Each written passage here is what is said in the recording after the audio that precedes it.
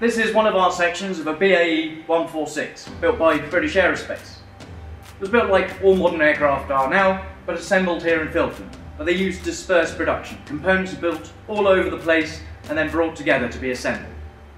The Queen actually has priority use of one of these jets.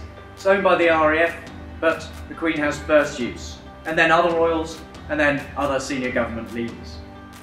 Airbus are using a BAE 146 for an exciting new project. They are testing electric engines and hybrid engines, and so they've replaced one engine on a BAE 146 with their new electric engine. But perhaps this could be the beginnings of the future of a cleaner and more efficient way of flying.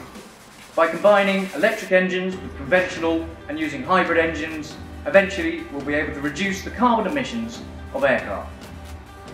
You may notice the luggage underneath. Well, if you ever wondered where your luggage goes if it goes missing on holiday, now you know, it ends up in a museum.